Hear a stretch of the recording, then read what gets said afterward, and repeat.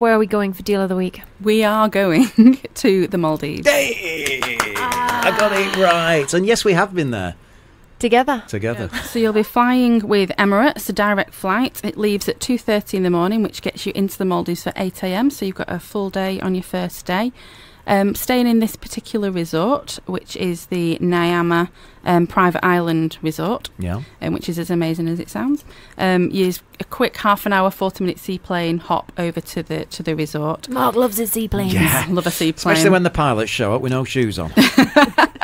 Um, it's a three night stay um, this, this time around. So, as I mentioned, it's a five star Niyama private island resort, and you'd be staying in a beach studio which has a private pool, um, and it includes breakfast and dinner.